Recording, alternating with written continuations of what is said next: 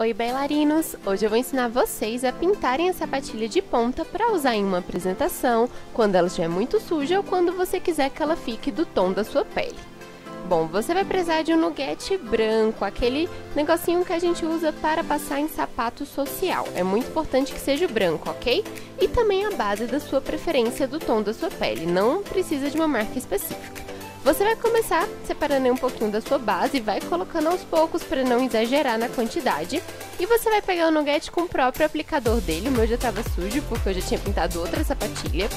E aos poucos você vai adicionando essa misturinha na sapatilha. É importante dar a sacudida para o nuggete sair bem direitinho. E aí você vai apertando para sair o nuggete e já que na parte de cima dele tem a base, ele vai se misturar na hora de sair. E é muito importante você fazer esse processo com muita velocidade para que a base não seque e manche. Esse processo vai demorar um pouquinho, você tem que ter paciência, você vai precisar passar várias vezes até ficar do tom que você quer, mas eu indico vocês irem fazendo aos poucos para que o tom não fique errado. Então vai sempre colocando um pouquinho de base no get, esfregando e com muita paciência. É importante vocês pintarem toda a sapatilha, tá bom? E se ela ficar um pouquinho manchada, não tem problema, porque de longe não dá pra ver esses detalhezinhos. O importante é que você tente esfregar para que deixe ela o mais uniforme possível. E sempre espere um pouquinho ela secar, porque pode ser que a base mude de cor.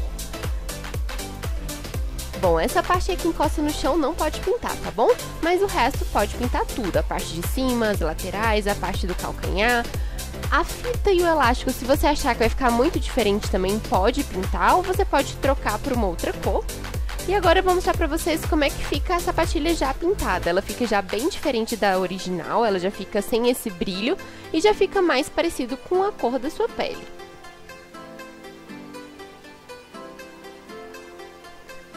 Bom, e agora a gente tem já os dois pares finalizados. Vocês vão ver que tem umas manchinhas, mas de longe nem dá pra ver. Espero que vocês tenham gostado. Um beijo!